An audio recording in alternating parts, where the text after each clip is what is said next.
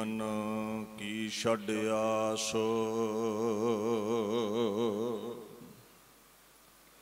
ਹੋ ਹੋ ਸਭਨਾ ਕੀ ਰੇਣੁਕਾ।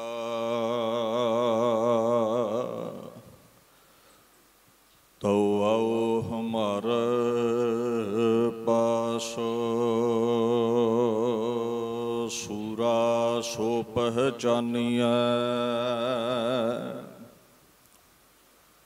ਜੋ ਲਰੈ ਦੀਨ ਕਹੇ ਤੋ। ਪੁਰਜਾ ਪੁਰਜਾ ਕਟ ਮਰੈ, ਕਬਹੂ ਨਾ ਛੱਡ ਖੇਤ।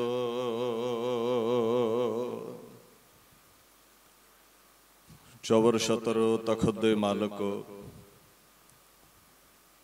ਧੰਨ ਧੰਨ ਸ੍ਰੀ ਗੁਰੂ ਗ੍ਰੰਥ ਸਾਹਿਬ ਸੱਚੇ ਪਾਤਸ਼ਾਹ ਜੀ ਦੀ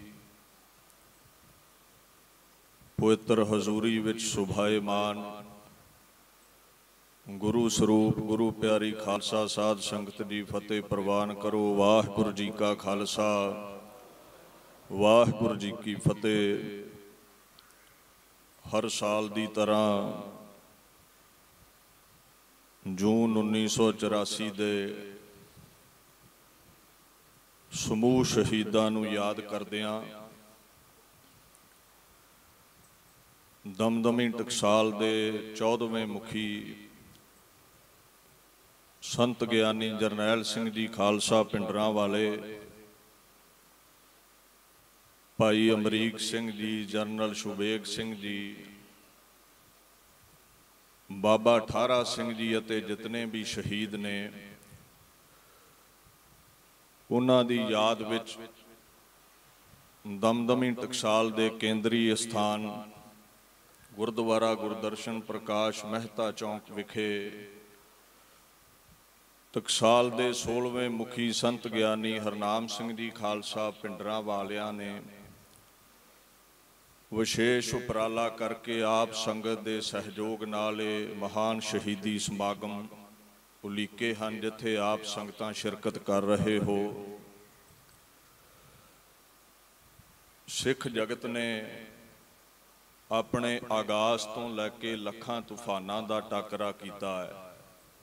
ਜਦੋਂ ਦੀਵਾ ਨਵਾਂ ਬਲਦਾ ਹੈ, ਉਹਨੂੰ ਹਰ ਦਿਸ਼ਾ ਤੋਂ ਹਵਾਵਾਂ ਵਜਾਉਣ ਲਈ ਉਤਾਵਲੀਆਂ ਹੁੰਦੀਆਂ ਨੇ। ਸਿੱਖ ਜਗਤ ਦੇ ਆਗਾਜ਼ ਤੋਂ ਹੀ ਬਹੁਤਾਤ ਗਿਣਤੀ ਵਾਲੇ ਧਰਮਾਂ ਨੇ ਸਿੱਖ ਜਗਤ ਨੂੰ ਨਿਗਲਣਾ ਚਾਹਿਆ। ਜਿਸ ਕਾਰਨ ਗੁਰੂ ਅਰਜਨ ਸਾਹਿਬ ਪਾਤਸ਼ਾਹ ਨੂੰ ਸ਼ਹਾਦਤ ਦੀ ਅਵਧੀ ਮੰਨਣੀ ਪਈ। ਗੁਰੂ ਹਰਗੋਬਿੰਦ ਸਾਹਿਬ ਮਹਾਰਾਜ ਨੂੰ ਚਾਰ ਜੰਗਾਂ ਭਾਰਤ ਵਰਸ਼ ਦੀ ਹਕੂਮਤ ਨਾਲ ਲੜਨੀਆਂ ਪਈਆਂ। ਗੁਰੂ ਤੇਗ ਬਹਾਦਰ ਸਾਹਿਬ ਸ਼ਹੀਦ ਹੋਏ। ਖੁਦ ਖੁਦਾ ਗੁਰੂ ਗੋਬਿੰਦ ਸਿੰਘ ਸਾਹਿਬ ਸੱਚੇ ਪਾਤਸ਼ਾਹ ਨੂੰ ਮੁਠੀ ਪਰ ਫੌਜਾਂ ਲੈ ਕੇ 14 ਜੰਗਾਂ ਔਰੰਗਜ਼ੇਬ 22 ਧਾਰ ਦੇ ਰਾਜਿਆਂ ਨਾਲ ਲੜਨੀਆਂ ਪਈਆਂ। ਔਰ ਉਹਦੇ ਤੋਂ ਬਾਅਦ ਵੀ ਸਿੱਖ ਜਗਤ ਨੂੰ ਮਿਟਾਉਣ ਵਾਲੀਆਂ ਤਾਕਤਾਂ ਆਉਂਦੀਆਂ ਰਹੀਆਂ, ਕਈ ਘੱਲੂਕਾਰੇ ਸਿੱਖ ਜਗਤ ਦੇ ਨਾਲ ਵਾਪਰੇ ਨੇ। ਆਪਾਂ ਤਿੰਨ ਘੱਲੂਕਾਰੇ ਮੁੱਖ ਗਿਣਦੇ ਆਂ। ਘੱਲੂਕਾਰੇ ਦਾ ਅਰਥ ਕੀ ਹੈ? ਸਰਵਨਾਸ਼, ਤਬਾਹੀ, ਕਤਲੋ ਗੈਰਤ। ਇੰਗਲਿਸ਼ ਦੇ ਵਿਦਵਾਨ ਵੀ ਜ਼ਿਕਰ ਕਰਦੇ ਨੇ it's a Punjabi word Ghallukara.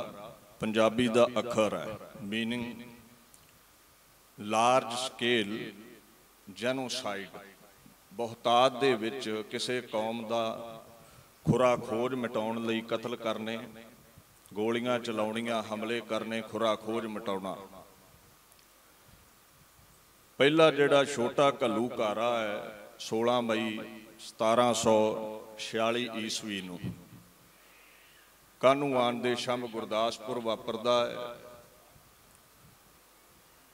ਦੂਜਾ ਜਿਹੜਾ ਵੱਡੂ ਕੱਲਾ ਕੱਲੂ ਘਾਰਾ ਹੈ, ਮਲੇਰ ਕੋਟਲੇ ਦੇ ਇਲਾਕੇ ਦੇ ਵਿੱਚ ਕੁਪਰਹੀੜਾ ਉੱਥੇ ਵਾਪਰਦਾ ਹੈ।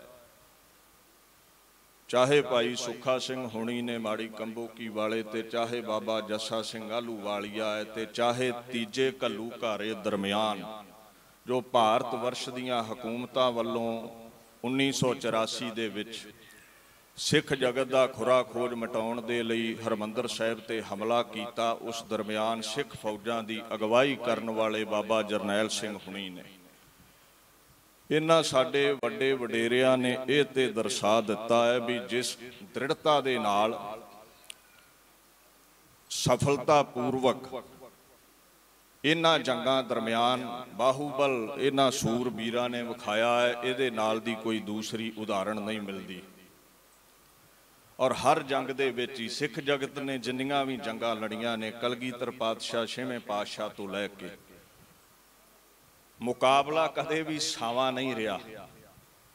ਅੱਲਾ ਯਾਰ ਖਾਂ ਬੜਾ ਵਧੀਆ ਬਿਆਨ ਕਰਦਾ ਹੈ, ਕਹਿੰਦਾ ਇਹ ਸਿੱਖਾਂ ਦਾ ਕੁਝ ਇਤਿਹਾਸ ਐਸਾ ਹੈ, ਇਹਨਾਂ ਦਾ ਆਗੂ ਜਦੋਂ ਵੀ ਲੜਿਆ ਹੈ, ਕਲਗੀਧਰ ਜਦੋਂ ਵੀ ਲੜਿਆ ਹੈ, ਸੂਰਬੀਰ ਜਦੋਂ ਵੀ ਲੜੇ ਨੇ, ਜਿਸ ਰਨ ਮੇ ਲੜਾ ਬੇਸਰੋ ਸਾਮਾਨ ਲੜਾ ਤੂੰ ਸੌ ਸਿੰਘ ਲੀਏ ਲੱਖੋਂ ਪੇਜਾ ਜਾ ਕੇ ਪੜਾ ਤੂੰ। ਮੁਠੀ ਪਰ ਸਿੰਘਾਂ ਨੇ ਲੱਖਾਂ ਦਾ ਸਫਾਇਆ ਕੀਤਾ, ਚਾਹੇ ਕੋਈ ਵੀ ਜੰਗ ਹੋਵੇ।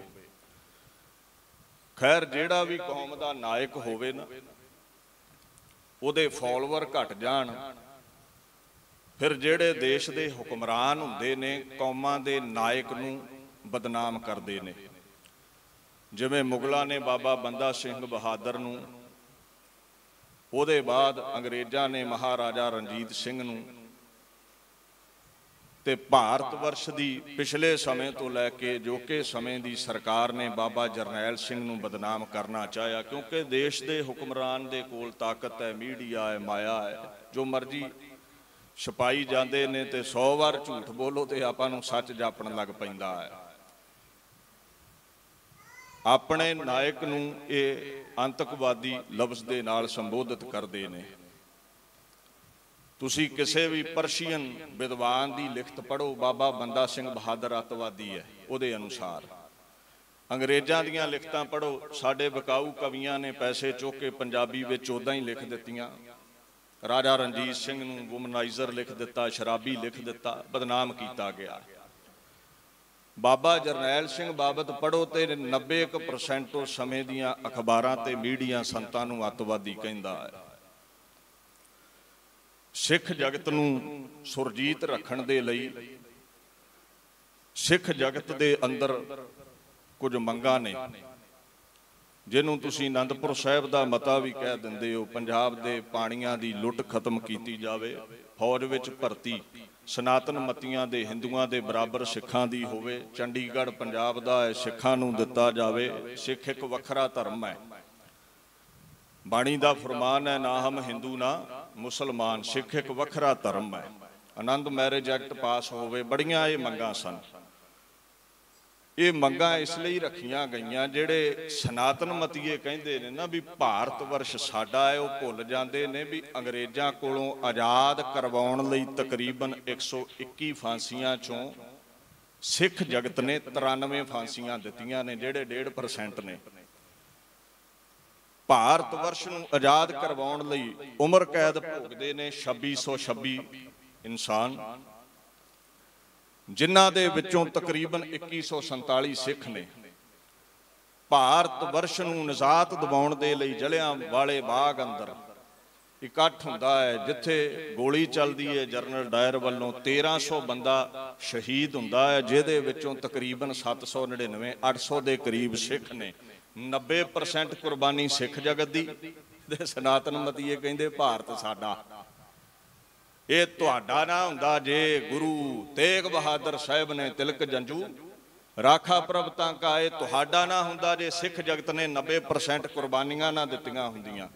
ਤੁਸੀਂ ਤੇ ਕਦੇ ਗਜ਼ਨੀ ਦੀਆਂ ਮੰਡੀਆਂ 'ਚ ਟਕਿਆਂ ਤੇ ਵਿਕਦੇ ਰਹੇ ਹੋ ਤੇ ਅੱਜ ਤੱਕ ਵੀ ਵਿਕਦੇ ਰਹਿਣਾ ਸੀ ਜੇ ਖਾਲਸਾ ਪੰਥ ਨੇ ਤਲਵਾਰ ਲੈ ਕੇ ਭਾਰਤ ਦੀ ਹਿਫਾਜ਼ਤ ਨਾ ਕੀਤੀ ਹੁੰਦੀ ਤੇ। ਹੱਕ ਤਾਂ ਬਰਾਬਰ ਦੇ ਮੰਗੇ ਵੀ ਜਿਹੜਾ ਹੱਕ ਹਿੰਦੂ ਨੂੰ ਮਿਲਦਾ ਹੈ, ਸੰਤ ਕਹਿੰਦੇ ਸਿੱਖ ਨੂੰ ਵੀ ਮਿਲੇ। ਅਸੀਂ ਸੈਕੰਡ ਗ੍ਰੇਡ ਸਿਟੀਜ਼ਨ ਨਹੀਂ, ਭਾਰਤ ਦੇ।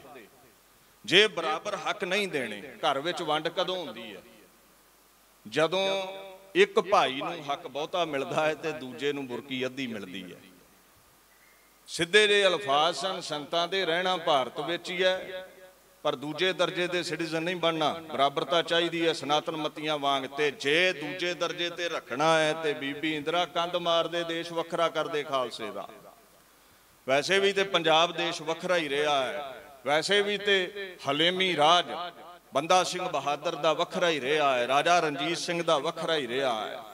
ਇਹ ਤੇ ਕੁਝ ਵਿਕਾਊ ਬੰਦੇ ਬਲਦੇਵ ਸਿੰਘ ਵਰਗੇ ਇੰਗਲੈਂਡ ਦੇ ਵਿੱਚ ਵਿਖ ਗਏ, ਨਹਿਰੂ ਦੀਆਂ ਗੱਲਾਂ ਵਿੱਚ ਆ ਗਏ। ਪੰਜਾਬ ਦੇਸ਼ ਨਾਲ ਹੀ ਭਾਰਤ ਦੇ ਮਿਲਾ ਬੈਠੇ ਨੇ ਤੇ ਖਾਲਸੇ ਦਾ ਅੱਜ ਇੱਕ ਵੱਖਰਾ ਰਾਜ ਹੋਣਾ ਸੀ। ਖੈਰ, ਸੰਤਾਂ ਨੇ ਬਰਾਬਰ ਦੇ ਹੱਕਾਂ ਦੀ ਗੱਲ ਕੀਤੀ। ਇੱਕ ਹੋਰ ਸਿਆਣੇ ਆ ਗਏ, ਉਹ ਕਹਿੰਦੇ ਜੀ ਹਥਿਆਰ ਕਿਉਂ ਰੱਖੇ ਨੇ?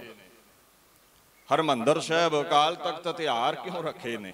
ਸ਼ਾਇਦ ਉਹਨਾਂ ਇਤਿਹਾਸ ਨਹੀਂ ਪੜਿਆ ਜੇਕਰ ਦਰਬਾਰ ਸਾਹਿਬ ਅਸੀਂ ਇਤਿਹਾਸ ਨੂੰ ਪੜੋ ਹਥਿਆਰ ਨਾ ਰੱਖੇ ਹੁੰਦੇ ਤੇ ਯਾਦ ਕਰ। ਇਹ ਦਰਬਾਰ ਸਾਹਿਬ ਦਾ ਸਰੋਵਰ ਵੀ ਪੂਰਿਆ ਗਿਆ, ਦਰਬਾਰ ਸਾਹਿਬ ਨੂੰ ਵੀ ਢਾ ਦਿੱਤਾ ਗਿਆ ਸੀ ਤੇ ਅੱਜ ਉਹ ਮਹਾਨ ਪਾਕਿਸਤਾਨ ਸੁਰਜੀਤ ਨਾ ਹੁੰਦਾ, ਇਹ ਹਥਿਆਰਾਂ ਦੀ ਬਦੌਲਤ ਸੀ।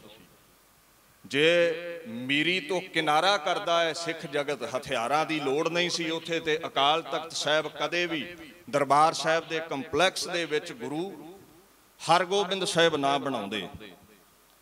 ਜੇ ਹਥਿਆਰਾਂ ਦੀ ਲੋੜ ਨਹੀਂ ਸੀ ਤੇ ਤਖਤ ਤੇ ਬੈਠ ਕੇ ਛੇਵੇਂ ਪਾਤਸ਼ਾਹ ਕਦੇ ਐਲਾਨ ਨਾ ਕਰਦੇ ਵੀ ਅੱਜ ਮੈਨੂੰ ਜਵਾਨ ਬੱਚਿਆਂ ਦੀ ਅੱਜ ਮੈਨੂੰ ਘੋੜਿਆਂ ਦੀ, ਸ਼ਸਤਰਾਂ ਦੀ ਲੋੜ ਹੈ, ਕਿਉਂਕਿ ਭਾਰਤ ਦਾ ਹੁਕਮਰਾਨ ਸੰਤ ਦੀ ਨਿਰਮਾਣਤਾ ਨੂੰ ਭੁੱਲ ਗਿਆ ਹੈ, ਸੰਤ ਨੂੰ ਤਤੀ ਤਵੀ ਤੇ ਬਿਠਾਉਂਦਾ ਹੈ। ਹੁਣ ਇਹ ਤਲਵਾਰ ਦਾ ਪ੍ਰਤਾਪ ਸਮਝੇਗਾ ਤੇ ਮੈਨੂੰ ਸ਼ਸਤਰਾਂ ਦੀ ਲੋੜ ਹੈ। ਇਹ ਸਾਡੇ ਬਾਪੂ ਦਾ ਹੁਕਮ ਹੈ। ਜੇ ਹਥਿਆਰ ਨਾ ਹੁੰਦੇ ਅਕਾਲ ਤਖਤ ਸਾਹਿਬ ਤੇ ਅੱਜ ਵੀ ਮੱਸੇ ਰੰਗੜ ਦੀ ਔਲਾਦ ਨੇ ਉਸ ਹਦੂਦ ਅੰਦਰ ਕੰਜਰੀਆਂ ਨਚਾਉਣੀਆਂ ਬੰਦ ਨਹੀਂ ਸੀ ਕਰਨੀਆਂ। ਜੇ ਹਥਿਆਰ ਉੱਥੇ ਨਾ ਹੁੰਦੇ ਤੇ ਯਾਦ ਰੱਖਿਓ ਅਬਦਾਲੀ ਤੋਂ ਬਾਬਾ ਦੀਪ ਸਿੰਘ ਕਦੇ ਵੀ ਬਦਲਾ ਨਹੀਂ ਸੀ ਲੈ ਸਕਦਾ ਖੰਡਾ ਖੜਕਾਉਣ ਤੋਂ ਬਿਨਾ। ਨਾਲੇ ਸਾਡੇ ਬਾਪੂ ਦਾ ਹੁਕਮ ਹੈ। ਗੁਰੂ ਗੋਬਿੰਦ ਸਿੰਘ ਸਾਹਿਬ ਸੱਚੇ ਪਾਤਸ਼ਾਹ ਦਾ ਹੁਕਮ ਹੈ। ਸਿੱਖ ਦੇ ਕੋਲ ਸਦਾ ਹਥਿਆਰ ਚਾਹੀਦਾ ਹੈ। ਸਿੱਖ ਸਦਾ ਆਪਣੇ ਕੋਲ ਹਥਿਆਰ ਰੱਖਦਾ ਹੈ। ਸਮੇਂ ਦੇ ਅਨੁਸਾਰ ਜੈਸੇ ਵੀ ਸ਼ਸਤਰ ਚੱਲਦੇ ਹੁਣ ਸਿੱਖ ਦੇ ਕੋਲ ਹੁੰਦੇ ਨੇ। ਤੁਸੀਂ ਕਈ ਵਾਰ ਦਸਮ ਬਾਪੂ ਦੇ ਬੋਲ ਵੀ ਪੜ੍ਹਦੇ ਰਹਿੰਦੇ ਹੋ। ਮਹਾਰਾਜ ਸੱਚੇ ਪਾਤਸ਼ਾਹ ਦਾ ਇਹ ਹੁਕਮ ਰਿਹਾ ਹੈ ਵੀ ਸਿੱਖ ਜਿਹੜਾ ਵੀ ਮੇਰੇ ਦਰ ਤੇ ਆਵੇ, ਉਹ ਸ਼ਸਤਰ ਧਾਰੀ ਹੋ ਕੇ ਆਵੇ। ਖੈਰ, ਇਹ ਵਾਧੂ ਦਾ ਬਹਾਨਾ ਹੈ। ਕਈ ਕਹਿ ਦਿੰਦੇ ਜੀ, ਸੰਤ ਜਰਨੈਲ ਸਿੰਘ, ਦਰਬਾਰ ਸਾਹਿਬ ਵਰਗੀ ਪਵਿੱਤਰ ਜਗ੍ਹਾ ਤੇ ਮੋਰਚਾ ਹੀ ਉਹਨਾਂ ਨੇ ਕਿਉਂ ਲਾਇਆ? ਦੇਖੋ, ਸੰਤਾਂ ਨੇ ਕਿਸੇ ਹਕੂਮਤ ਤੇ ਜਾ ਕੇ ਧਾਵਾ ਨਹੀਂ ਬੋਲਿਆ ਤੇ ਜਿਹੜਾ ਸਾਡੇ ਘਰ ਚੜ ਕੇ ਆਵੇਗਾ, ਉਦੋਂ ਸਿੱਖ ਜਗਤ ਚੂੜੀਆਂ ਵੀ ਨਹੀਂ ਪਾਉਂਦਾ। ਗੁਰੂ ਨਾਨਕ ਸਾਹਿਬ ਨੇ ਬੜਾ ਪਿਆਰਾ ਬੋਲ ਕਿਹਾ, ਕਹਿੰਦੇ, ਹਰ ਬੰਦਾ ਪ੍ਰੇਮ ਨਾਲ ਨਹੀਂ ਸਮਝਦਾ, ਮੂਰਖ ਗੰਢ ਪਵੇ ਮੋਹ। ਮਾਰ ਕਈ ਵਾਰ ਮੂਰਖਾਂ ਦੇ ਮੂੰਹ ਤੇ ਮਾਰਿਆ ਹੀ ਉਹਨਾਂ ਨੂੰ ਗੰਢ ਪੈਂਦੀ ਹੈ। ਕਲਗੀਧਰ ਨੇ ਬੜਾ ਪਿਆਰਾ ਬੋਲ ਕਿਹਾ ਸੀ, ਕਹਿੰਦੇ, ਮੈਂ ਕਦੇ ਵੀ ਲੜਨ ਨਹੀਂ ਜਾਂਦਾ। ਮੈਂ ਕਦੇ ਵੀ ਲੜਨ ਨਹੀਂ ਜਾਂਦਾ, ਪਰ ਜਿਸ ਦਿਨ ਮੇਰੇ ਨਾਲ ਇਸ ਫਕੀਰ ਦੇ ਨਾਲ ਕੋਈ ਲੜਨ ਆਵੇਗਾ ਤੇ ਮੈਂ ਫਿਰ ਖਾਲੀ ਨਹੀਂ ਜਾਣ ਦਵਾਂਗਾ। ਬਲਾ ਚਾਰਗੀ ਦਰਮਿਆ ਆਮਦਮ ਬਾ ਤਦਬੀਰ ਤੀਰੋ ਤੂ ਆਮਦਮ, ਚੁੰਕਾਰ ਹਮ ਹਲਾਹੀਲ ਤੇ ਦਰਗੁਜਸ਼ਤ, ਹਲਾਲ ਅਸਤ ਬੁਰਦਨ ਬਾ ਸ਼ਮਸ਼ੀਰ ਦਸਤ। ਫਿਰ ਕਹਿੰਦੇ, ਮੈਂ ਮਾਲਾ ਤੇ ਹੱਥ ਨਹੀਂ ਪਾਵਾਂਗਾ। ਜਿਸ ਦਿਨ ਨੰਗੀ ਤਲਵਾਰ ਲੈ ਕੇ ਮੇਰੇ ਅੱਗੇ ਕੋਈ ਆ ਗਿਆ, ਮੇਰਾ ਹੱਥ ਵੀ ਫਿਰ ਤਲਵਾਰ ਤੇ ਜਾਵੇਗਾ। ਬਾਬਾ ਜਰਨੈਲ ਸਿੰਘ ਮੀਰੀ ਅਤੇ ਪੀਰੀ ਦੇ ਸਿਧਾਂਤ ਨੂੰ ਲੈ ਕੇ ਚੱਲ ਰਹੇ ਸਨ। ਕੋਈ ਦਰਬਾਰ ਸਾਹਿਬ ਦੇ ਕੰਪਲੈਕਸ ਦੇ ਵਿੱਚ ਬਾਬਾ ਜਰਨੈਲ ਸਿੰਘ ਆਪਣੇ ਘਰੇਲੂ ਹੱਕਾਂ ਲਈ ਨਹੀਂ ਬੈਠੇ, ਕੌਮ ਦੀ ਆਨ ਤੇ ਸ਼ਾਨ ਨੂੰ ਬਹਾਲ ਕਰਨ ਲਈ ਬੈਠੇ ਸਨ। ਔਰ ਜਦੋਂ ਹਕੂਮਤਾਂ ਚੜ ਕੇ ਆ ਗਈਆਂ, ਫਿਰ ਹਥਿਆਰ ਸੁੱਟ ਕੇ ਬਾਹਾਂ ਖੜੀਆਂ ਕਰਨ ਦਾ ਮਤਲਬ ਹੀ ਨਹੀਂ ਹੈ। ਬਾਣੀ ਦਾ ਫਰਮਾਨ ਹੈ, ਜੋ ਸੂਰਾ ਤਿਸ ਹੀ ਹੋਏ ਮਰਨਾ ਜੋ ਭਾਗੈ, ਤਿਸ ਜੋਨੀ ਫਿਰਨਾ ਸੂਰਮਿਆਂ ਦਾ ਕਰਮ ਹੀ ਜੰਗ ਦੇ ਮੈਦਾਨ ਵਿੱਚ ਜੂਝਣਾ ਹੈ। ਸੋ ਦੁਸ਼ਮਣ ਚੜ ਕੇ ਆ ਗਿਆ, ਫਿਰ ਸੰਤਾਂ ਨੇ ਹੱਥ ਤੇ ਜੋੜਨੇ ਨਹੀਂ। ਖੈਰ, ਭਾਰਤ ਵਰਸ਼ ਦੀ ਹਕੂਮਤ ਨੇ ਮੰਗਾਂ ਤੇ ਕੀ ਪੂਰੀਆਂ ਕਰਨੀਆਂ ਸੀ, ਅਕ੍ਰਿਤ ਘਣਤਾ ਦੀਆਂ ਸਾਰੀਆਂ ਹੱਦਾਂ ਨੂੰ ਲੰਘਦੇ ਹੋਏ। ਉਸ ਸਿੱਖ ਜਗਤ ਦੇ ਮਹਾਨ ਤਖਤ ਤੇ ਹਮਲਾ ਕੀਤਾ, ਜਿਸ ਤਖਤ ਦੀ ਬਦੌਲਤ ਭਾਰਤ ਵਰਸ਼ ਵਿੱਚ ਸਨਾਤਨ ਮਤ ਦਾ ਬੂਟਾ ਲੱਗਾ ਰਿਹਾ ਸੀ। ਜਿਸ ਕੌਮ ਦੀ ਬਦੌਲਤ ਹਿੰਦੂ ਮਤ ਦੁਨੀਆ ਤੇ ਸੁਰਜੀਤ ਰਿਹਾ ਸੀ। ਖੈਰ, ਸਿੱਖਾਂ ਨੇ ਵੀ ਸ਼ਸਤਰ ਸੂਤ ਲਏ। ਇੱਕ ਕਹਿੰਦਾ ਜੀ, ਉਹ ਤਾਂ ਹਮਲਾ ਹੋਇਆ, ਸੰਤ ਹਿੰਦੂਆਂ ਨੂੰ ਮਾਰਦੇ ਸੀ। ਅੱਜ ਕੱਲ ਬੜੀ ਵੀਡੀਓ ਚੱਲ ਰਹੀ ਹੈ। ਭਾਰਤੀ ਜਨਤਾ ਪਾਰਟੀ ਦਾ ਚੋਟੀ ਦਾ ਆਗੂ ਸੁਬਰਮਨਿਅਮ ਸਵਾਮੀ ਹੈ ਜਿਹੜਾ। ਉਹ ਕਹਿੰਦਾ, ਮੈਂ ਸੰਤਾਂ ਕੋਲ ਦਰਬਾਰ ਸਾਹਿਬ ਕੰਪਲੈਕਸ ਬੈਠਾ ਇੱਕ ਲੜਕੀ ਆਈ ਹੈ ਅੱਖਾਂ ਦੇ ਵਿੱਚ ਹੰਝੂ ਨੇ ਸੰਤ ਜੀ, ਮੇਰੇ ਸਹੁਰੇ ਦਾਜ ਲਈ ਬੜਾ ਤੰਗ ਕਰਦੇ ਨੇ, ਸੰਤਾਂ ਇਸ਼ਾਰਾ ਕੀਤਾ ਹੈ। ਹਿੰਦੂ ਲੜਕੀ ਹੈ, ਸੰਤਾਂ ਇਸ਼ਾਰਾ ਕੀਤਾ ਹੈ ਬਾਬਾ ਅਮਰੀਕ ਸਿੰਘ ਨੂੰ। ਇਹਦੇ ਸਹੁਰਿਆਂ ਨੂੰ ਸੱਦੋ ਸਵੇਰੇ ਕਹਿੰਦੇ ਜੀ, ਸਹੁਰੇ ਆ ਗਏ, ਸੁਬਰਾਮਨਿਅਮ ਕਹਿੰਦਾ ਮੈਂ ਉੱਥੇ ਕੋਲ ਬੈਠਾ ਹਾਂ।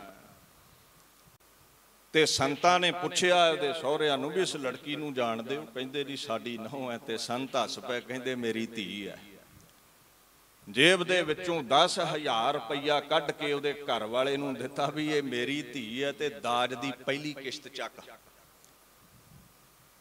ਹੁਣ ਸੰਤਾਂ ਦੇ ਸਾਵੇਂ ਦਾਜ ਦੀ ਕਿਸ਼ਤ ਕੌਣ ਚੁੱਕੇ? ਦੋ ਸਿਰ ਹੋਣ ਤੇ ਕੋਈ ਚੁੱਕੇ ਨਾ, ਫਿਰ ਹੀ ਧੱਕੋ ਚੋਰੀ ਕਰੇ ਉਸ ਮਹਾਪੁਰਸ਼ ਦੇ ਸਾਹਮਣੇ। ਉਹਨਾਂ ਹੱਥ ਜੋੜ ਕੇ ਮਾਇਆ ਵੀ ਦੇ ਦਿੱਤੀ ਕੁੜੀ ਨੂੰ ਲੈ ਕੇ ਚਲੇ ਗਏ ਤੇ ਉਹ ਹੱਸਦੀ ਵਸਦੀ ਘਰ ਵਸ ਗਈ। ਸੁਬਰਾ ਮੰਨਿਆਮ ਕਹਿੰਦਾ, ਉਹ ਹਿੰਦੂਆਂ ਨੂੰ ਮਾਰਨ ਵਾਲਾ ਅੱਤਵਾਦੀ ਨਹੀਂ, ਉਹ ਮਹਾਪੁਰਸ਼ ਸੀ। ਗੱਲ ਫਿਰ ਹੋਈ ਹੈ, ਜਿਹੜਾ ਕੌਮ ਲਈ ਸਿਰ ਚੁੱਕੇਗਾ, ਉਹਨੂੰ ਕੁਚਲਣ ਦੇ ਲਈ ਉਹਦੇ ਕਰੈਕਟਰ ਨੂੰ, ਉਹਦੀ ਕਰਨੀ ਨੂੰ ਧੁੰਦਲਾ ਕੀਤਾ ਜਾਂਦਾ ਹੈ। ਬੜਾ ਮੀਡੀਆ ਇਹ ਕਰਮ ਦੇਸ਼ ਦਾ ਕਮਾਉਂਦਾ ਹੈ। ਖੈਰ, ਸਿੱਖੀ ਦਾ ਸਿਧਾਂਤ ਰਿਹਾ, ਹਿੰਦੂ ਹੈ ਜਾਂ ਸਿੱਖ ਹੈ ਜਾਂ ਮੁਸਲਮਾਨ ਹੈ, ਇੱਥੇ ਜਿਹੜਾ ਆਵੇ, ਜੋ ਸਰਣੇ ਆਵੇ, ਤੇ ਸਕੰਠ ਲਾਵੇ, ਮਹਾਰਾਜ ਦਾ ਇਹ ਸਿਧਾਂਤ ਹੈ। ਜਿਹੜਾ ਵੀ ਉਸ ਮਹਾਪੁਰਸ਼ ਦੇ ਪਾਸ ਆਉਂਦਾ ਸੀ, ਉਹ ਗਲ ਨਾਲ ਲਾ ਕੇ ਉਹਦਾ ਦੁੱਖ ਦਰਦ ਬਣਾਉਂਦੇ ਸਨ। ਐਸੇ ਮਹਾਪੁਰਸ਼ ਹੋਏ, ਖੈਰ, ਫਿਰ ਵੀ ਕਈ ਸਰਕਾਰੀ ਟਾਊਟ ਕਹਿ ਦਿੰਦੇ ਜੀ, ਉਹ ਅੱਤਵਾਦੀ ਸੀ। ਮੈਂ ਕਈ ਵਾਰ ਸੋਚਦਾ ਹੁੰਨਾ ਹੈ ਵੀ ਮੰਨ ਲਓ ਮੰਨ ਲਓ ਵੀ ਉਹਨਾਂ ਨੂੰ ਇਹ ਆਤੰਕਵਾਦੀ ਕਹਿੰਦੇ ਨੇ। ਅੱਛਾ ਸੰਤਾਂ ਨੂੰ ਹੀ ਤੇ ਸ਼ਹੀਦ ਕਰਨਾ ਸੀ। 3 ਜੂਨ ਨੂੰ 1984 ਨੂੰ ਗੁਰੂ ਅਰਜਨ ਸਾਹਿਬ ਪਾਤਸ਼ਾਹ ਦਾ ਸ਼ਹੀਦੀ ਪੁਰਬ ਹੈ। ਸੰਗਤਾਂ ਇਕੱਠੀਆਂ ਹੋ ਰਹੀਆਂ ਦਰਬਾਰ ਸਾਹਿਬ। ਜੇ ਕੱਲੇ ਸੰਤਾਂ ਨੂੰ ਸ਼ਹੀਦ ਕਰਨਾ ਹੈ, ਤੇ 3 ਜੂਨ ਤੋਂ ਪਹਿਲਾਂ ਕਰ ਲਵੋ। ਜਾਂ 5-4 ਦਿਨ ਖਲੋ ਜਾਵੋ ਸੰਗਤਾਂ ਦੇ ਦਾਰੇ ਕਰਕੇ ਰਮੰਦਰ ਸਾਹਿਬ ਤੋਂ ਮੁੜ ਜਾਣ, ਫਿਰ ਸੰਤਾਂ ਤੇ ਗੋਲੀ ਸਿੱਕਾ ਚਲਾ ਲਿਓ, ਪਰ ਨਹੀਂ। ਵੇਖੋ, ਹਜ਼ਾਰਾਂ ਸੰਗਤਾਂ ਇਕੱਠੀਆਂ ਹੋਈਆਂ ਹਰਮੰਦਰ ਸਾਹਿਬ। ਗੁਰੂ ਅਰਜਨ ਸਾਹਿਬ ਦਾ ਸ਼ਹੀਦੀ ਪੁਰਬ ਮਨਾਉਣਾ ਹੈ। ਇਕੱਠ ਹੋਣ ਦਿੱਤਾ ਤੇ 1 ਤਰੀਕ ਨੂੰ ਕਰਫਿਊ ਲਾ ਦਿੱਤਾ ਵੀ ਕੋਈ ਹੁਣ ਬਾਹਰ ਨਾ ਜਾਵੇ। ਬੱਚਾ ਬਿਰਧ ਕੋਈ ਵੀ ਜਿਹੜਾ ਜਗਿਆਸੂ ਗੁਰੂ ਦੇ ਦਰ ਤੇ ਆਇਆ, ਗੋਲੀਆਂ ਨਾਲ ਛਲ ਛਲਨੀ ਕੀਤਾ ਗਿਆ। ਚਲੋ ਮੰਨ ਲਓ ਇਹ ਕਹਿੰਦੇ ਸੰਤ ਤਤਵਾਦੀ ਨੇ ਉਤੇ ਹਰਮੰਦਰ ਸਾਹਿਬ ਬੈਠੇ ਨੇ ਉਤੇ ਕਾਲ ਤਖਤ ਬੈਠੇ ਨੇ। ਬਾਕੀ ਤਕਰੀਬਨ 40 ਗੁਰੂ ਘਰਾਂ ਤੇ ਉਸੇ ਦਿਨ ਹਮਲਾ ਕਿਉਂ ਕੀਤਾ ਗਿਆ, ਭਾਰਤ ਦੇ ਅੰਦਰ ਇਤਿਹਾਸਿਕ ਸਥਾਨਾਂ ਉੱਪਰ। ਸਿੱਧੇ ਜੇ ਅਲਫਾਜ਼ ਨੇ, ਸਿੱਖਾ ਤੇਰੀਆਂ ਜਾਇਜ਼ ਮੰਗਾਂ ਨੂੰ ਕੁਚਲਣ ਦੇ ਲਈ ਗੱਲ ਗੱਲ ਤੇ ਬਰਾਬਰ ਦੇ ਤੂੰ ਹੱਕ ਮੰਗਦਾ ਹੈ। ਤੇਰੀ ਜ਼ੁਬਾਨ ਨੂੰ ਗਲੂਏ ਵਿੱਚ ਦਬਾਉਣ ਦੇ ਲਈ। ਸਿੱਖ ਇੱਕ ਵੱਖਰਾ ਧਰਮ ਹੈ। ਇਹ ਤੇਰੇ ਜ਼ਿਹਨ ਵਿੱਚ ਹੀ ਤੇਰੀ ਸੋਚ ਨੂੰ ਮਲਿਆ ਮੇਟ ਕਰਨ ਦੇ ਲਈ, ਹਜ਼ਾਰਾਂ ਲੱਖਾਂ ਦੀ ਨਸਲ ਕੁਸ਼ੀ ਕਰਨ ਦੇ ਲਈ ਹੀ ਇਹ ਖਾਸ ਸ਼ਹੀਦੀ ਦਿਨ ਉਲੀਕਿਆ ਸੀ ਭਾਰਤ ਵਰਸ਼ ਦੀ ਸਰਕਾਰ ਵੱਲੋਂ। ਜੇ ਸੰਤਾਂ ਨੂੰ ਹੀ ਸ਼ਹੀਦ ਕਰਨਾ ਸੀ ਤੇ ਸੰਤ ਤੇ 6 ਜੂਨ ਨੂੰ ਸ਼ਹੀਦ ਹੋ ਗਏ। ਸਵੇਰ ਤੇ ਗੋਲੀ ਸ਼ਾਮ ਤੱਕ ਚੱਲਦੀ ਰਹੀ ਹੈ। ਪਤਾ ਹੈ ਸਰਕਾਰ ਨੂੰ ਸ਼ਹਾਦਤ ਦੀ ਅਵਧੀ ਮਾਣ ਗਏ ਨੇ, ਨਹੀਂ, ਤੁਹਾਡੇ ਹਰ ਬੱਚੇ ਨੂੰ, ਹਰ ਬਿਰਧ ਨੂੰ, ਹਰ ਸਿਰ ਚੁੱਕਣ ਵਾਲੇ ਦਾ ਸਿਰ ਕੁਚਲਣ ਦੇ ਲਈ ਇਹ ਹਮਲਾ ਕੀਤਾ ਗਿਆ ਸੀ। ਅੱਛਾ, ਅਫਸਰਾਂ ਨੇ ਬੜੇ ਯਤਨ ਕੀਤੇ ਵੀ ਇਹ ਹਮਲਾ ਟਲ ਜਾਵੇ, ਜਿਹੜੇ ਕੁਝ ਸਿਆਣੇ ਹੁੰਦੇ ਨੇ ਨਾ। ਸਿੱਧੀ ਜੀ ਗੱਲ ਹੈ, ਇਹ ਜਿਹੜਾ ਬਲੂ ਸਟਾਰ ਹੈ ਨਾ ਭਿੰਡਰਾਂ ਵਾਲੇ ਕੌਮ ਦੇ ਹੱਕਾਂ ਦੀ ਮੰਗ ਕਰਦੇ ਨੇ, ਇਹਨਾਂ ਨੂੰ ਕੁਚਲ ਦਿਓ। ਅਣਖੀ ਸਿੱਖਾਂ ਦੇ ਮਸਲੇ ਮਿੱਟੀ ਵਿੱਚ ਮਿਲਾ ਕੇ ਰੱਖ ਦਿਓ। ਹਿੰਦੁਸਤਾਨ ਵਿੱਚ ਇਹ ਬਰਾਬਰ ਦੇ ਹੱਕ ਚਾਹੁੰਦੇ ਨੇ, ਇਹਨਾਂ ਨੂੰ ਨਹੀਂ ਦਿੱਤਾ ਜਾਵੇਗਾ। ਖੈਰ, ਐਸੇ ਕਈ ਕਾਰਨ ਬਣੇ। ਇੱਕ Sardar Gurdev Singh he was IAS officer commissioner ਸੀ ਅੰਮ੍ਰਿਤਸਰ ਦਾ। ਜਦੋਂ ਇਹ ਹਮਲਾ ਕਰਨ ਲਈ ਅਫਸਰ ਆਏ, ਉਹਨੇ ਆਖਿਆ ਵੀ ਕੋਈ ਲਿਖਤ ਹੋਵੇ ਰਾਸ਼ਟਰਪਤੀ ਦੀ ਦਿਓ। ਨਸ਼ੇ 'ਚ ਚੂਰ ਨੇ, ਹੁਕਮਰਾਨ ਕਹਿੰਦੇ ਕੋਈ ਲਿਖਤ ਨਹੀਂ ਮਿਲਣੀ। ਚਲੋ ਉਹਨਾਂ ਨੇ ਛੁੱਟੀ ਲੈ ਲਈ, ਅਸਤੀਫਾ ਲੈ ਲਿਆ, ਜੋ ਵੀ ਕੀਤਾ ਹੈ, ਵੱਖਰਾ ਵਿਸ਼ਾ ਪਰ ਉਹਨਾਂ ਨੇ ਇੱਕ ਗੱਲ ਕਹੀ ਸੀ, ਜਨਰਲ ਸੁੰਦਰ ਨੇ ਇਹ ਬਾਇਓਗ੍ਰਾਫੀ ਵਿੱਚ ਜ਼ਿਕਰ ਕੀਤਾ ਹੈ। ਕਹਿੰਦਾ ਉਹਨਾਂ ਇੱਕ ਗੱਲ ਕਹੀ ਸੀ, ਗੁਰਦੇਵ ਸਿੰਘ, ਹੁਣਾ ਵੀ ਦੇਖੋ, ਸੰਤ ਜਰਨੈਲ ਸਿੰਘ ਕੋਈ ਆਮ ਇਨਸਾਨ ਨਹੀਂ ਹੈ।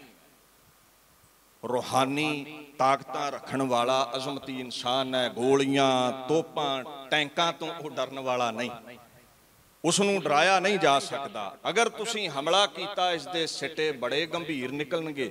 ਆਉਣ ਵਾਲੇ ਸਮੇਂ ਵੱਲ ਇਸ਼ਾਰਾ ਸੀ ਉਸ ਆਈਏਐਸ ਆਫੀਸਰ ਦਾ 84 ਤੋਂ ਲੈ ਕੇ 94 ਤੱਕ, ਜਿੰਨਾ ਨੁਕਸਾਨ ਭਾਰਤ ਵਰਸ਼ ਨੇ ਹੰਡਾਇਆ ਹੈ। ਇਹਨਾਂ ਜੰਗਾਂ ਦਰਮਿਆਨ ਜਿੰਨਾ ਨੁਕਸਾਨ ਭਾਰਤ ਵਰਸ਼ ਦੀ ਆਰਮੀ ਨੇ ਹੰਡਾਇਆ ਹੈ ਉਹਨਾਂ ਪਾਕਿਸਤਾਨ ਨਾਲ ਯੁੱਧ ਦੇ ਦਰਮਿਆਨ, ਚਾਈਨਾ ਦੇ ਨਾਲ ਯੁੱਧ ਦੇ ਦਰਮਿਆਨ ਨਹੀਂ ਇਹਨਾਂ ਨੇ ਹੰਡਾਇਆ ਆਮ ਇਨਸਾਨ ਨਹੀਂ ਹੈ ਸੰਤ। ਇੱਕੋ ਪੱਤਰਕਾਰ ਨੇ ਸਵਾਲ ਕੀਤਾ ਬਾਬਾ ਸ਼ਬੇਗ ਸਿੰਘ ਨੂੰ।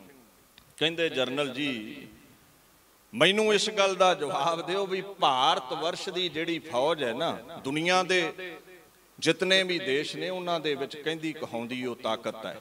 ਕੋਈ ਪੰਜਾਂ ਚੌਹਾਂ ਦੇ ਵਿੱਚ ਤੇ ਆਉਂਦੀ ਹੈ। ਕਿੱਦਾਂ ਮੁਕਾਬਲਾ ਕਰੋਗੇ?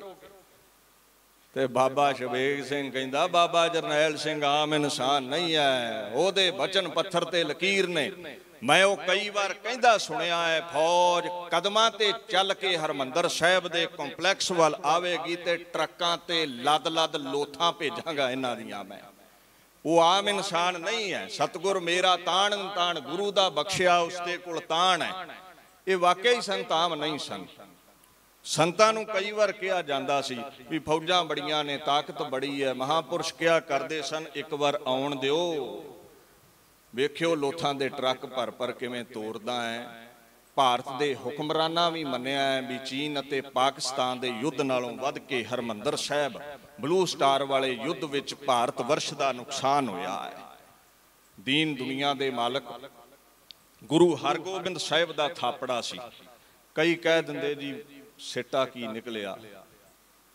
ਦੇਖੋ ਠੀਕ ਹੈ ਅਸੀਂ 94 ਤੱਕ 84 ਤੋਂ ਲੈ ਕੇ 2.5 ਲੱਖ ਦੇ ਕਰੀਬ ਸਾਡੇ ਬਚੜੇ ਸਾਡੀਆਂ ਫੁਲਵਾੜੀਆਂ ਖੇਰੂ ਖੇਰੂ ਹੋਈਆਂ।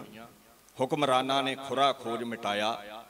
ਪਰ 84 ਤੋਂ ਪਹਿਲਾਂ ਬਾਹਰਲੇ ਮੁਲਕਾਂ ਦੇ ਵਿੱਚ ਇੱਕ ਸ਼ਹਿਰ ਵਿੱਚ ਇੱਕ ਗੁਰਦੁਆਰਾ ਨਹੀਂ ਸੀ ਮਿਲਦਾ ਤੇ ਪੰਜ ਦਸਤਾਰਧਾਰੀ ਗੁਰਮੁਖ ਪਿਆਰੇ ਗ੍ਰੰਥੀ ਨਹੀਂ ਸੀ ਮਿਲਦੇ। ਕਈ ਵਾਰ ਕਲੀਨ ਸ਼ੇਵ ਲੋਕ ਰੌਲ ਲਾਉਂਦੇ ਹੁੰਦੇ ਸੀ 1955 60 ਇੱਧਰ ਇੰਗਲੈਂਡ ਵੱਲ ਚਲੇ ਜਾਓ। 1984 ਦੀ ਸ਼ਹਾਦਤ ਐਸੀ ਹੋਈ। ਉਹ ਸਾਕਾ ਐਸਾ ਹੋਇਆ ਘੱਲੂਘਾਰਾ ਐਸਾ ਹੋਇਆ। ਬਾਬਾ ਜਰਨੈਲ ਸਿੰਘ ਦੀ ਕੁਰਬਾਨੀ ਨੇ ਐਸੀ ਰੂਹ ਫੂਕੀ ਸਿੱਖ ਜਗਤ ਦੇ ਅੰਦਰ। ਇਤਿਹਾਸ ਗਵਾਹ ਹੈ, ਅੱਜ ਜਾ ਕੇ ਦੇਖੋ, ਤਕਰੀਬਨ ਹਰ ਸ਼ਹਿਰ ਵਿੱਚ ਕੈਨੇਡਾ, ਅਮਰੀਕਾ, ਇੰਗਲੈਂਡ, ਯੂਰਪ, ਕਿਤੇ ਚਲੇ ਜਾਓ, ਹਰ ਸ਼ਹਿਰ ਵਿੱਚ ਇੱਕ ਤੇ ਕੀ ਤਿੰਨ ਤਿੰਨ ਚਾਰ ਚਾਰ ਗੁਰਦੁਆਰੇ ਨੇ ਤੇ ਨਗਰ ਕੀਰਤਨਾਂ ਤੇ ਰੌਣਕ ਐਸੀ ਹੈ, ਜੈਸੀ ਵਿਸਾਖੀ ਤੇ ਨੰਦਾਂ ਦੀ ਪੁਰੀ ਵਿੱਚ ਹੁੰਦੀ ਹੈ। ਲੱਖਾਂ ਵਿੱਚ ਖਾਲਸਾ ਸੱਜਿਆ ਹੈ ਉਸ ਮਹਾਪੁਰਸ਼ ਦੀ ਕੁਰਬਾਨੀ ਤੋਂ ਬਾਅਦ। ਇਹ ਫਾਇਦਾ ਹੋਇਆ ਹੈ ਸਾਨੂੰ। ਕੌਮ ਨੂੰ ਸੁਰਜੀਤ ਕੀਤਾ ਉਸ ਮਹਾਪੁਰਸ਼ ਨੇ, ਨਾਲੇ ਹਰ ਜੰਗ ਜਿੱਤਣ ਲਈ ਨਹੀਂ ਲੜੀ ਜਾਂਦੀ। ਜੰਗ ਦੇ ਮਾਇਨੇ ਇਹੀ ਨਹੀਂ ਹੁੰਦੇ ਵੀ ਜਿੱਤਣਾ ਹੈ।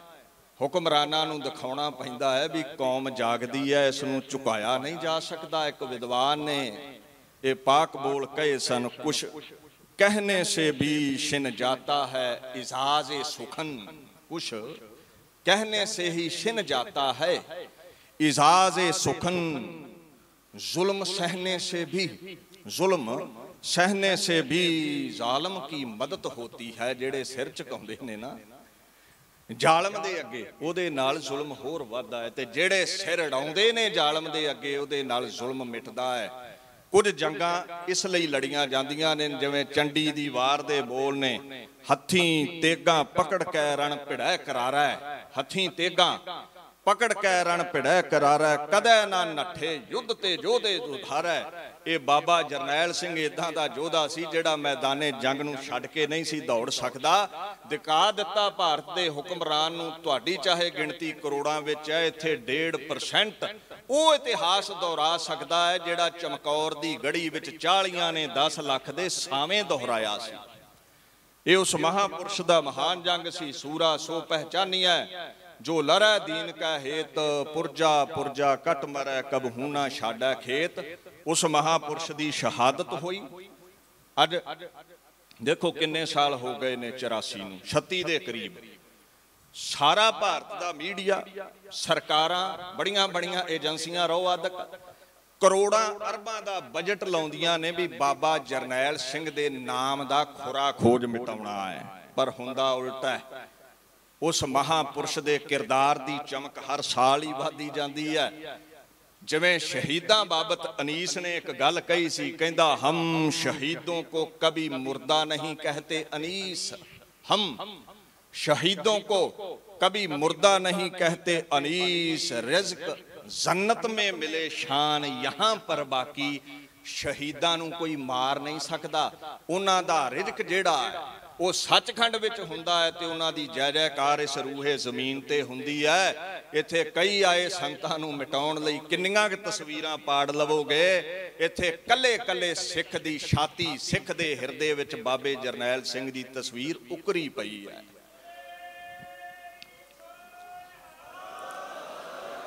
ਉਹ ਕਹਿੰਦੇ ਨੇ ਨਾ, ਸ਼ੇਰ ਕੌਮ ਤੋਂ ਆਪਾ ਵਾਰ ਗਿਆ।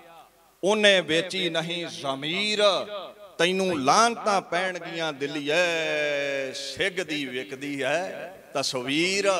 ਉਸ ਮਹਾਪੁਰਸ਼ ਦੀਆਂ ਤੇ ਤਸਵੀਰਾਂ ਵੀ ਵਿਕਦੀਆਂ ਨੇ। ਖੈਰ, ਕੌਮਾਂ ਸਿਰ ਦੇ ਕੇ ਇਤਿਹਾਸ ਸਿਰਜਦੀਆਂ ਨੇ। ਬਾਬਾ ਜਰਨੈਲ ਸਿੰਘ ਨੇ ਸਿਰ ਦਿੱਤਾ, ਕੌਮ ਦੀ ਆਨ ਸ਼ਾਨ ਬਹਾਲ ਕੀਤੀ। ਜਿੱਥੇ ਕਦੇ ਦੋ ਸਿੱਖ ਗੁਰਮੁਖ ਪਿਆਰੇ ਸਿੱਖੀ ਸਰੂਪ ਵਿੱਚ ਨਹੀਂ ਸੀ, ਬਾਹਰਲੇ ਮੁਲਕਾਂ 'ਚ ਲੱਭਦੇ ਅਸੀਂ ਕਰੋੜਾਂ ਵਿੱਚ ਸਿੰਘ ਸੱਜੇ। ਇਹ ਦੇਣ ਸੀ ਉਸ ਮਹਾਪੁਰਸ਼ ਦੀ ਸਿੱਖ ਜਗਤ ਦੀ ਫੁਲਵਾੜੀ ਨੂੰ। ਆਪਣੇ ਲਹੂ ਨਾਲ ਸਿੰਚ ਕੇ ਉਸਨੇ ਪ੍ਰਫੁੱਲਤ ਕੀਤਾ, ਸਿਰ ਦੇ ਕੇ ਇਤਿਹਾਸ ਸਿਰਜਿਆ ਔਰ ਦਮਦਮੀ ਟਕਸਾਲ ਦੇ 15ਵੇਂ ਮੁਖੀ ਬਾਬਾ ਠਾਕਰ ਸਿੰਘ ਹੁਣਾ ਨੇ ਸਿੰਘਾਂ ਨੂੰ ਸਾਂਭਿਆ, ਸ਼ਹੀਦਾਂ ਦੇ ਪਰਿਵਾਰਾਂ ਨੂੰ ਸਾਂਭਿਆ ਤੇ ਸਿਰ ਵਰਤ ਕੇ ਬਾਬਾ ਹਰਨਾਮ ਸਿੰਘ ਜੀ ਨੇ ਮਹਾਨ ਸ਼ਹੀਦਾਂ ਦੀ ਯਾਦਗਾਰ ਸ਼੍ਰੀ ਹਰਮੰਦਰ ਸਾਹਿਬ ਦੇ ਕੰਪਲੈਕਸ ਵਿੱਚ ਬਣਾ ਕੇ, ਜਿਨ੍ਹਾਂ ਨੂੰ ਅੱਤਵਾਦੀ ਕਿਹਾ ਜਾਂਦਾ ਸੀ, ਉਹਨਾਂ ਨੂੰ ਸ਼ਹਾਦਤ ਵਾਲਾ ਅਮਰਾਪਦ ਉਹਨਾਂ ਦੇ ਪਾਸ ਹੈ ਮੋਹਰ ਲਾ ਦਿੱਤੀ ਮਹਾਪੁਰਸ਼ਾਂ ਨੇ ਇਹ ਮਹਾਨ ਸੇਵਾ ਕੀਤੀ। ਅੱਜ ਵੀ ਦਮਦਮੀ ਟਕਸਾਲ ਹਜ਼ਾਰਾਂ ਨੂੰ ਅੰਮ੍ਰਿਤ ਛਕਾਉਂਦੀ ਹੈ। ਹਜ਼ਾਰਾਂ ਹੀ ਗਿਆਨੀ ਸਿੰਘਾਂ ਨੂੰ ਗੁਰਮਤ ਦੇ ਧਾਰਨੀ ਬਣਾ ਕੇ, ਪ੍ਰਚਾਰਕ ਬਣਾ ਕੇ ਸਿੱਖ ਜਗਤ ਦੀ ਫੁਲਵਾੜੀ ਨੂੰ ਪ੍ਰਫੁੱਲਤ ਕਰ ਰਹੀ ਹੈ। ਇਹ ਮਹਾਨ ਸੇਵਾਵਾਂ ਸੀਨੇ ਬਸੀਨੇ ਦਮਦਮੀ ਟਕਸਾਲ ਨਿਭਾਉਂਦੀ ਆ ਰਹੀ ਹੈ ਔਰ ਨਿਭਾਉਂਦੀ ਰਹੇਗੀ। ਮਹਾਪੁਰਸ਼ ਬਾਬਾ ਹਰਨਾਮ ਸਿੰਘ ਜੀ ਦਾ ਧੰਨਵਾਦ, ਸਮੂਹ ਸੰਗਤਾਂ ਦਾ ਧੰਨਵਾਦ। ਗੱਜ ਵੱਜ ਕੇ ਫਤਿਹ ਬੁਲਾਓ ਜੀ। ਵਾਹਿਗੁਰੂ ਜੀ ਕਾ ਖਾਲਸਾ। ਵਾਹਿਗੁਰੂ ਜੀ ਕੀ ਫਤਿਹ